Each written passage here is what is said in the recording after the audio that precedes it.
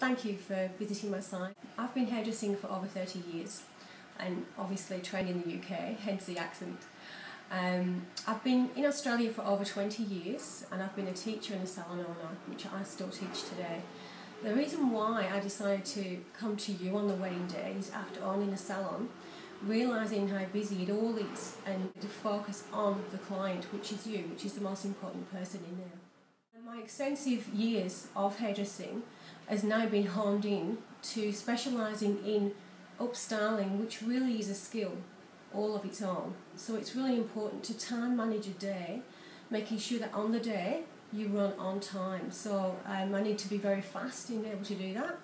And uh, over the many years I've done that, I'm sort of named as Speedy, Speedy Gonzales is the name. And uh, making sure that you are ready on time for when that photographer walks in, it's very important. I tune in to the concept of your individual day and also your own characteristics. That's face shape, it's hair type.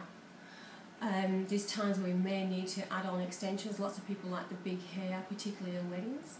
So it could be that we need extension pieces, etc. I also need to make sure that anything you decide you like in your hair, like say tiaras or brooches or veils uh, or flowers, uh, are housed appropriately so they don't come out during the ceremony, etc.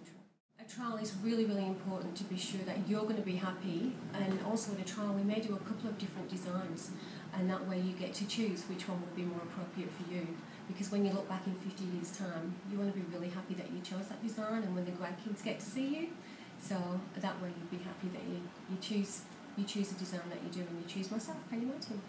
Thank you for uh, booking in a trial.